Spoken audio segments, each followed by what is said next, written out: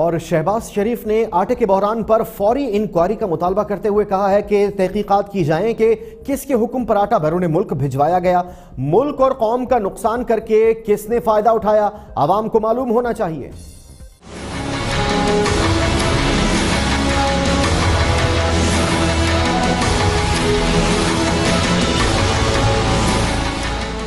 شہباز شریف کی جانب سے جاری بیان میں مطالبہ کیا گیا ہے کہ جب ملک میں کمی تھی تو گندم اور آٹا ملک سے باہر کیوں بھیجا گیا؟ قوم کو بتایا جائے کہ کس کے حکم پر اور کس قیمت پر گندم اور آٹا برامد ہوا۔ عوام کو معلوم ہونا چاہیے کہ ملک اور قوم کا نقصان کر کے کس نے فائدہ اٹھایا۔ قائد حزب اختلاف نے سوال اٹھایا کہ سولہ ماہ میں گندم کے ذخائر کہاں گئے؟ ذخائر کم تھے تو برامد کرنے کا فیصلہ کیوں ہوا؟ سولہ ماہ میں ہر چیز کے تباہ ہونے کی وجوہات کا پتہ لگانا ہوگا۔ انہوں نے خدشہ ظاہر کیا کہ صورتحال کی تنزلی کا یہی عالم رہا تو تین ماہ بعد کا سوچ کر خوف آ رہا ہے۔ حکمران دو ہزار بیس کو بہتری جبکہ معاشی ماہرین معاشی تباہی کا سال قرار دے رہے ہیں۔ شہباز شریف کا مزید کہنا تھا کہ قوم کی چیخیں نکلوانے کے باوجود مزید اربوں روپے کے مزید ٹیکس کی بازگش قیامت در قیامت ہے۔ مزید ٹیکس لگانے سے معیشت کی رہی صحیح سانس بھی بند ہو جائے گی۔ لیگی صدر نے کہا کہ ملک میں اصلاحات کے نام پر حماقتوں کا بازار گرم ہے۔ اگر عمران صاحب لائم ہے تو نالائق اور اگر ان کی مرضی سے ہو رہا ہے تو پھر وہ کرپٹ ناصر کے سرغنہ ہیں معاشی ماہرین کے تجزیات درست ہیں تو آنے والا وقت قوم کی چیخوں کو آسمان پر پہنچا دے گا۔